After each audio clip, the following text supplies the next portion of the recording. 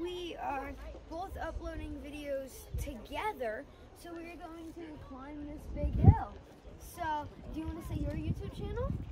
So we're here at Sheep Eater Cliff in Yellowstone National Park. And these cliffs are columnar jointing or columnar basalt from a shallow lava flow. And it cools like that, for, uh, forming those hexagon shapes. So Liam and I are gonna go climb up on those rocks and look for some of those hexagons, right? Yep. Awesome. Here we Oh. go.